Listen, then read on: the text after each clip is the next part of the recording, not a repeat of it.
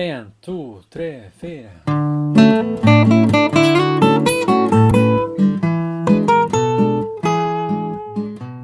Hi, and welcome to another episode of Fly Tying. Um, this time we're going to tie a very famous fly. I think, uh, I mean, I've been reading all about it for many days now, and, and uh, you know, um, I've been looking up uh, different patterns, and the Humpy is really a good fly. I mean, uh, I mean, this is uh, for me the the fly in the box when I'm fishing for for for uh, for graylings. I know I, I love to fish for grayling, and in Norway we got a huge grayling in some rivers, and and I fish in Glomma and Rena and uh, other rivers. But in uh, I really like to fish in Glomma. Uh, I really like the river, and and there is uh, a often the fish is standing in fast moving water and behind pockets, you know, behind stones. And I like to fish upstream, and and this fly seem, uh, works very well because it floats so good. And and again, you can use it as a um, strike indicator. You know, I haven't tried it as a strike indicator. I'm certainly going to do this um, this um, late summer. I'm I'm fishing in Glomma late summer when it just about when it's getting cold again. I, I love to fish there when the, the you know the leaves are uh, when the the leaves are getting brown and yellow and all different colors. I like to go there and fish for for for grayling. So this is a real nice pattern and and and. Um, uh, I think everyone is tying it, and it's a all-round fly. Uh, of course, you can fish it in waters, and you can fish it in rivers, and it's a real nice fly to have. And, and yeah, I try I try to tie it as uh, close to the original as possible, but I also tie it um, uh, uh, very small ones. Uh, uh, you know, I like to tie them in all the way on different types of hooks. This time I'm using just a standard dry fly hook size 12. Mm, this is from Partridge, and, and I also use the Tiemco triple one TMC uh, 111 uh, in size 10 and it's a short shanked wide gap hook. And uh, when I especially when I tie smaller flies I like to have a little bit bigger gap. And uh, and uh, I kind of tie them all the way down uh, to size yeah not the smallest because then you know it gets too tight you know the fly doesn't look right. But um, uh, this this hook is uh, also nice but um, but here I'm gonna tie it on a standard dry fly hook uh, size 12 and for this fly I'm using moose body hair in natural. As you can see I got a nice piece real nice piece and the tips are ooh perfect. So yeah and we need some uh, elk hair bleached. I use elk hair bleached uh, premium from this is from Spirit River. And for hackle I'm just using uh, you know I have this saddle hackle I, I bought and I always check when I buy hackle. I check the the um, the sizes because sometimes you buy these and they're just tiny tiny sizes on the whole cape. And I made sure when I bought this that I had some size 12s and and size 14s and so and and yeah and I got uh, many in here actually quite many that's size 12 actually a couple of ones size 10 too so I'm quite happy with this one so if you're gonna buy a cape and you have the opportunity to go through everyone in the shelf, you should actually go in and check. Uh, bring with you your hackle, your hackle measure, and and and um, and and uh, check it out. That's a good tip actually. So I'm using that grizzly, and I'm using this one. This is one I I bought for a while ago, and and you know. uh, Actually, it's many years ago, but here I also I checked it. I got some small ones, and I got size 12s, and actually a couple of size size um, size um, uh, 10 uh, also it's a nice. You see there's some big ones here on the sides. And yeah so check them out. So i'm going to use this for hackle. You can use a brown uh, just standard uh, dry fly cape but i like the the dark center of the um, when the fly gets this dark center. I hope you know what i mean. Yeah. And and for the thread i'm using 6-0 I like a little bit thicker thread when I'm tying these uh, flies with deer hair or or or, or roe hair or elk hair. I, I really like a little bit thicker thread, and um, it works great for for a little bit bigger flies. But of course, when you tie them smaller, uh, you can go over to 8 But usually, I don't tie this big I, I, call this a big fly because it goes at a big volume you know? And and and um, if you tie this fly in small small size i think it uh, kinds of destroy the pattern. I, I, like it in fairly big sizes like a 12 and also size 10 if you want but 12 and 14 i think is um, perhaps 16 too but yeah 12 is, is a real nice fly. I i mean i fish i fish grayling with it and uh, as i told you and uh, and uh, I think size 12 is a perfect size for this fly. So yeah, um, I try to tie it as uh, close to the original as possible. So I'm gonna upload this as the Humpy and not a variant. I, I, I mean, I, I, tie it uh, pretty close to the original. Uh, I don't have any underbody. I have tying thread and yeah. So shall we start? Okay. So here, here you see, there's the Humpy. And I'm filling up my box I got all summer because this is a fly I use uh, when I'm fishing for for grayling and uh, that's the, the, end of the summer so I have a lot of time tying this and you know this is a fly I use and I wanted to show you the flies I, I tie and use so so. It's a fairly new pattern for me. Uh, I haven't fished a lot with it but uh, I have had it in my box uh, for some years, and, and, and you know, uh, I really am gonna try uh, using it as a strike indicator this year. I haven't tried that before, and I was reading about it, and, and uh, of course, this is a great pattern for strike indicator. So we'll see, we'll see, we'll see what we do. But yeah, let's start this fly. Okay, enough talking. I like to talk, you know. So I'm just gonna see here. I got a lot of humpies here. There's one. Yay! So I'm gonna fill up my box. So let's start by, by putting in a, a hook. And uh, usually I, I, I always pinch in the barb. I mean, I don't I don't think I, I, I, miss out on any trout. I mean, of course, if there are fish that are jumping a lot, uh, it's it's easier to to to to you know lose the fish when the barb is hooked in. But you know, most of the time I'm fishing catch and release. So if I'm not fishing catch and release, I don't pinch in the barb because it's not uh, in some of the rivers in Norway. There uh, actually is allowed to fish with barb.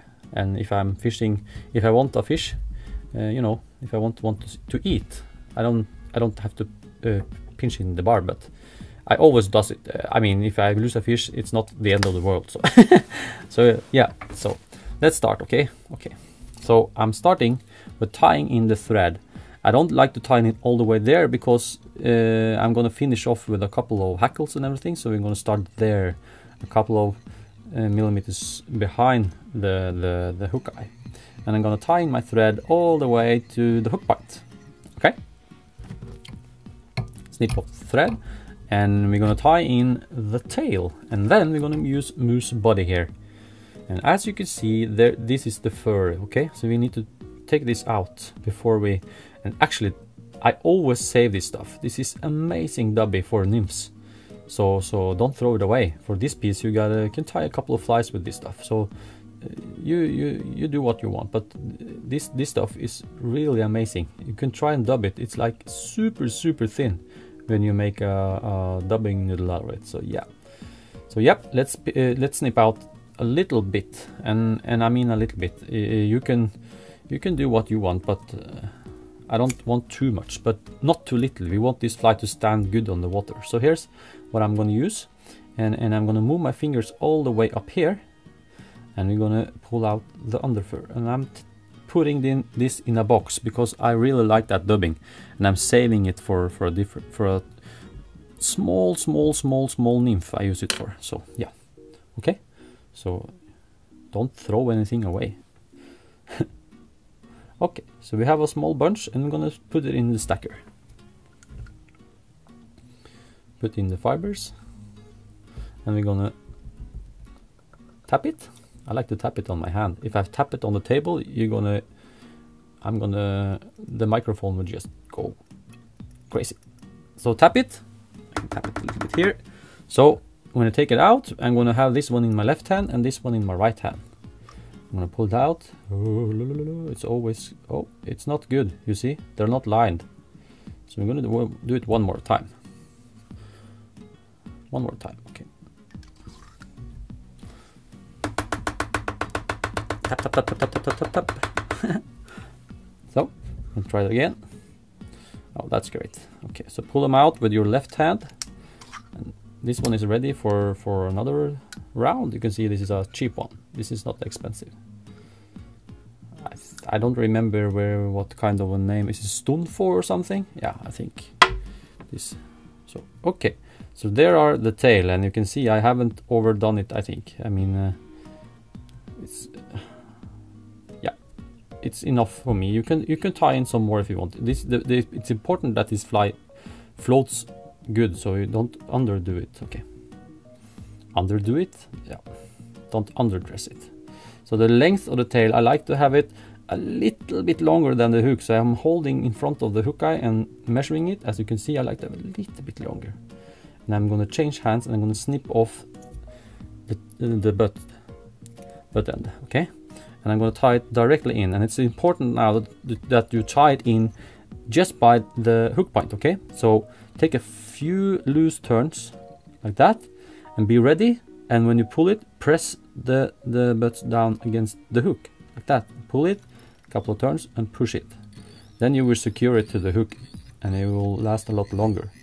And I'm, as you see, I'm still holding on to the tail, to the um, tail fibers and I'm tying touching turns all the way back to where I want the, the tail to, to, to kind of start. And I want it just by the hook bend. I like to go a little bit down and cross your thread and go up and still holding the tail.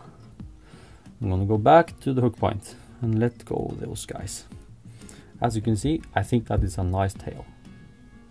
So you can decide how many you want, but if you can see that, I mean, it's perfect, I think. Okay, so then we are gonna tie in the premium elk hair bleached elk hair, as you can see. And here we're gonna take out a lot uh, more because we really want to fly float and everything. So I'm snipping out a big piece. And I don't mean a big, big, big, big, big piece, but quite a quite a good one. So as you can see, this is all a mess. So start working with the, the, the hairs and I'm pulling out this stuff and I'm, I'm saving this too. I'm just putting it together with the other one. As you can see, I have a little bunch here and I'm gonna, gonna make a dubbing out of it make some flies. I like the idea of, you know, if I can if I can use this stuff, this under here, this this woolly part, if I can use that to make a fly, I can catch fish on. Uh, it's a really nice feeling, you know. Yeah, so I'm gonna make sure there are no more fibers here, and I'm gonna change hands, and I'm gonna put this in the stacker. Tips down. I really like this fly. I really, really like it. Um, I'm gonna use it so much more this year. I just had a few in my box but this there I'm really gonna fish. So like this and I'm gonna tap it. Like that and I'm gonna do the same thing. This in my left hand and take my right hand, open it up and as you can see I like to have my scissor in my hand when I'm working with with uh, every sort. Oh look at that. Oh that's nice. Look at the fibers. I, I really got a nice piece and pinch them out. This is ready for another fly over there. I'm gonna measure it. And here I I really like to. It all depends on what kind of hook you're using, but this is a standard. So I'm I'm I'm th I'm thinking perhaps I've, I've taken it a little bit shorter, and as I can see, this is a little bit too much. I feel it's a little bit too much. I'm gonna pinch out a few fibers. I don't want too much. I really don't want. There you go. That's that's a little bit better. So I'm I'm I'm I'm, I'm measuring up, and I want it a little bit shorter than the, than the than the tail. But you can you can you can choose, of course, but a little bit shorter. I'm gonna I'm gonna be very picky on this part because if you get this wrong, the, the the wing won't look good. So I'm just gonna check it like that. I really like that. So I'm gonna change my hands over, and I'm gonna snip off the tip or the butts like that square and I'm always not letting go here I'm holding with my my my my finger and thumb I, I, will say like Davie McPhail says finger and thumb yeah so Okay, so I'm coming down here and making sure that the the this these butt ends are aligned with the with the hook point, and make a couple of turns and loose turns. I like the loose turns. Two couple of loose wraps. Okay, and when you're tightening up, push down with your finger and thumb. Okay, that and one turn like that, and I'm securing the butt ends straight away. I like to do that all the way. That makes sure this is sec nicely secured like that, and I'm to lift the the um, lift it up, and take some spiral turns. We call it spir spiral turns, yeah. And when when you do this, you can turn this a little bit against you like that, because then you, if you don't, this is going to slide a little bit over. You don't want that. And now I have to turn my vise to check out if I'm all the way back there. It's very important to have it all the way back to the tail. Yeah, and then we're gonna make the body by by filling up with thread. Okay. And you see, I haven't let go yet. So this is a quite tricky fly to tie, but when you get this, I mean, you can tie. Oh, it's so it's so fun. I, I mean, I've been tying this for for a couple of days now, and and every time I, I sit down and tie the fly, I get a getting a great mood. So okay, so let's lift this up, and I'm getting ready my right hand and pinching them and and pulling them forwards and then what I like to do, I like to change hands again. And I like to take them like this and pull them a little bit. Making sure all the fibers are coming up for from their natural uh, position, you know, so you don't get anything crossing around each other. So I like to hold like that, hold like this, you know, a couple times, make sure they are nice. And then we're gonna take a few turns back there. So I have to actually hold this in my right hand, or you can do it with your other hand, but this is quite easy. So take a loose turn, and I take two loose turns, and these turns really need to be by the hook point, okay? Two loose wraps, like that. I'm gonna make sure they are on the top, and I'm changing hands, holding back here, and I'm gonna tighten up a little bit, like that. Easy does it. And I really like the steps when you're when I get this picky, you know. I use the word picky uh, in Norwegian, it's called uh, nøye and and uh, pirkete. so I, really like that, and and yeah. So take a couple of turns, and when I'm tightening up, I'm holding the wing like that. Tighten. Ooh, that's why I like to use the six-0 thread. And I'm going to tie a little bit forwards, and every turn I kind of take a hold of it with my left hand and hold my bobbin in my right, and and tie it a little bit forwards. And then I got the control of the fibers, you know. Tie a little bit forwards, so we make a couple of millimeter small space here. Pull it up. Don't want it to go down on the back far side. As you see, perhaps they'll slide over. No, oh, it's starting. That's what I mean by having control of it for every turn. So yeah, so like that.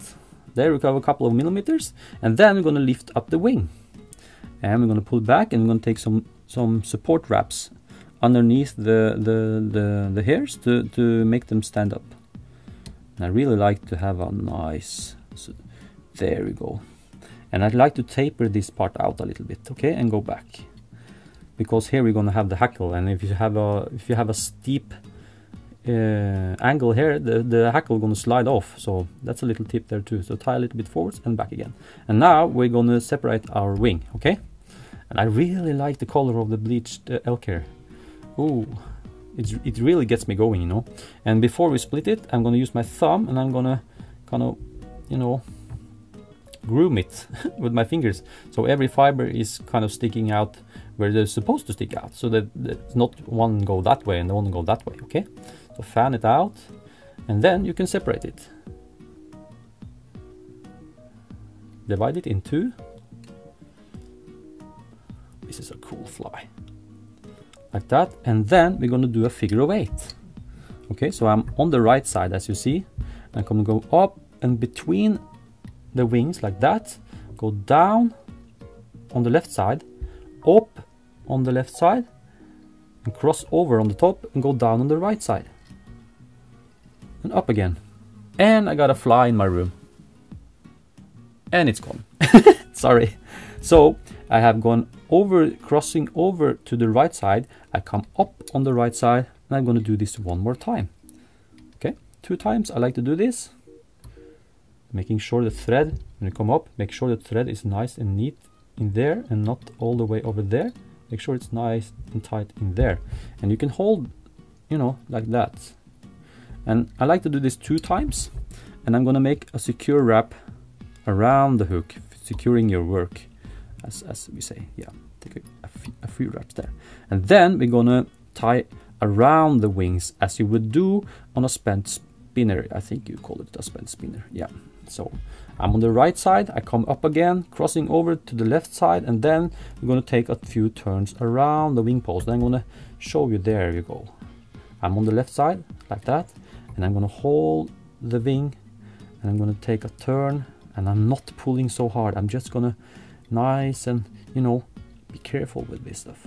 You're just going to make a small support turns, you know, for, for the wing. You don't have to pull hard here. So I'm going to take a few turns up. And here you can you can you can do how much you want. I'm taking three or four turns and then go go back down again. That way, yeah, all the way down. So making sure the thread is all the way down there, you know, there. And then I come up on the left side and I'm going to do the same with this wing. So it doesn't matter which wing you start with, but you know, just make sure you get a hold of the wing before you turn around, okay? So take three, four turns or five, whatever you want, doesn't matter. You just make it nice and neat.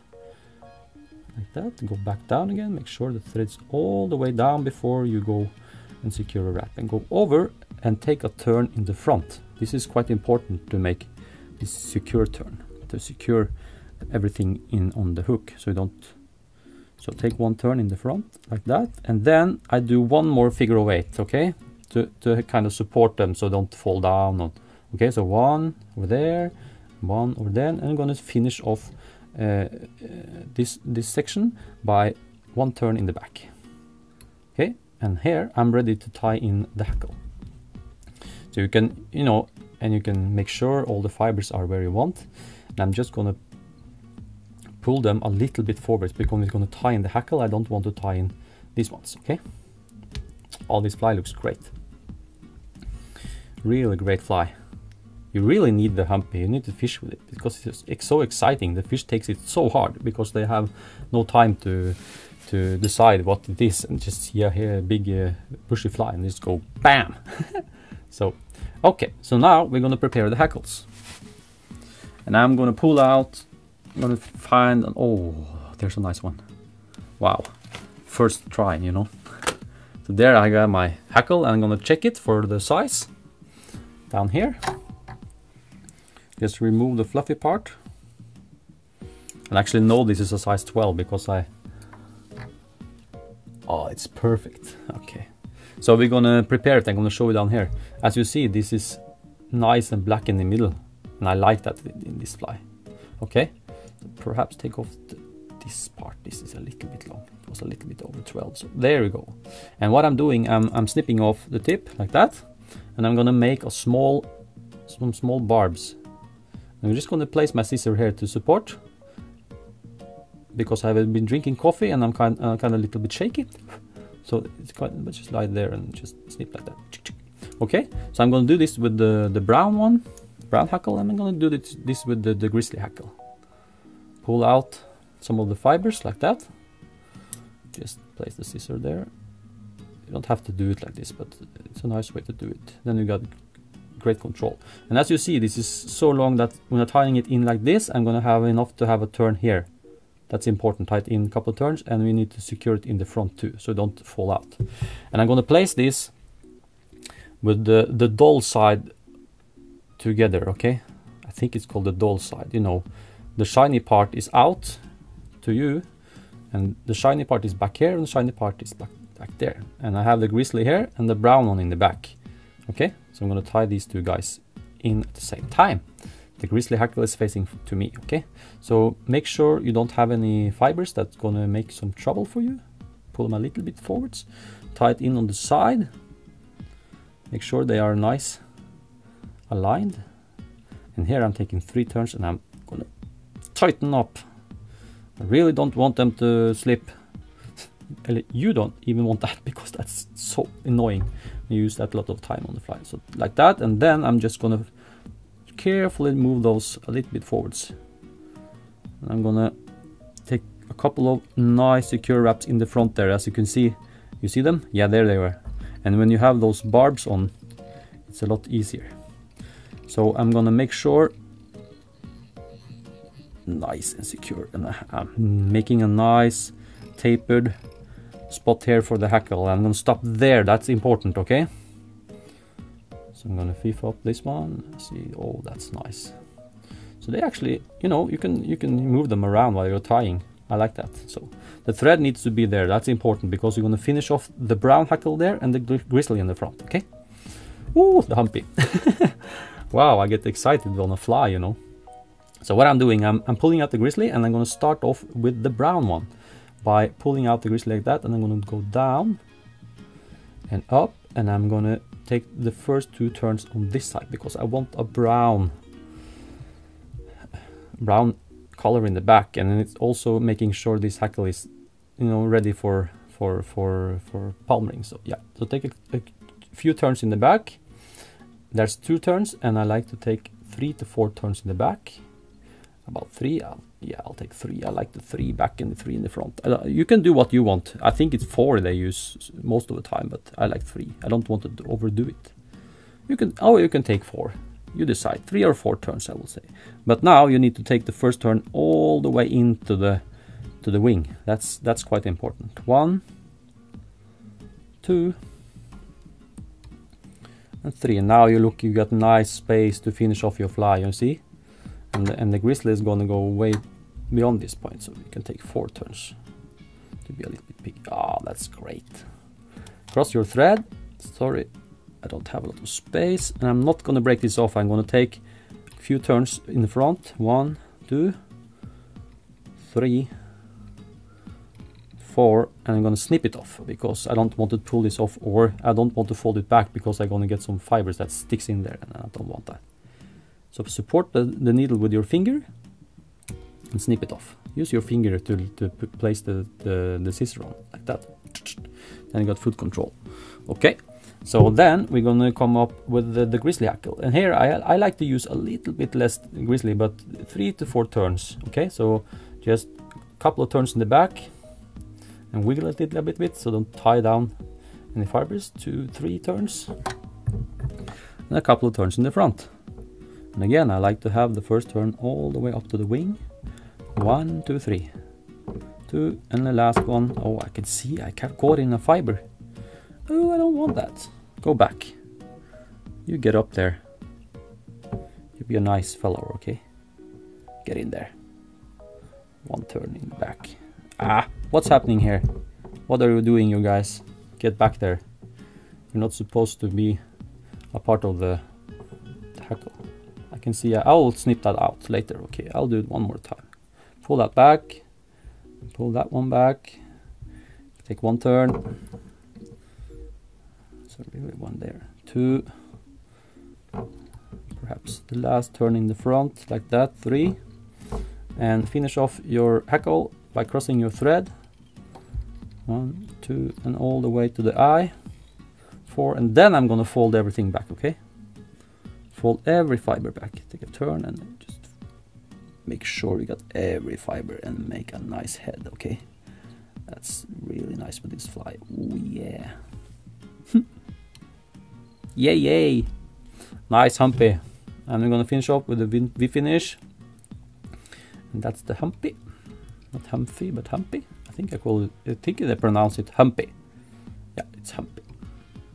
Two three and four. Oh, I don't want you to be in my knot.